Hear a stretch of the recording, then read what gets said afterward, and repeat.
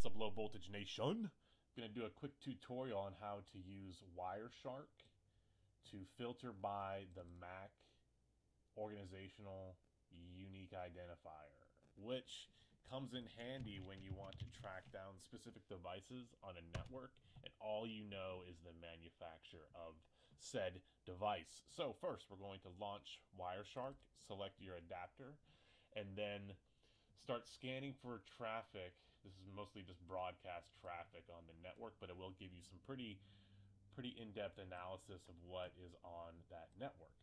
So, if you want to filter by the OUI, you would type in eth.addr and then bracket 0 colon 3 close bracket equals equals and then the OUI. So what that's doing, it's slicing the first three octets of the MAC address. Press enter and now everything that has that OUI, so this in particular device is the an Espressif, which I believe is a chipset manufacturer with uh, for a lot of IoT devices. Um, so that's a pretty quick and easy way to get devices on your network and all when all you know is the manufacturer. Boom. Thank you. Bye.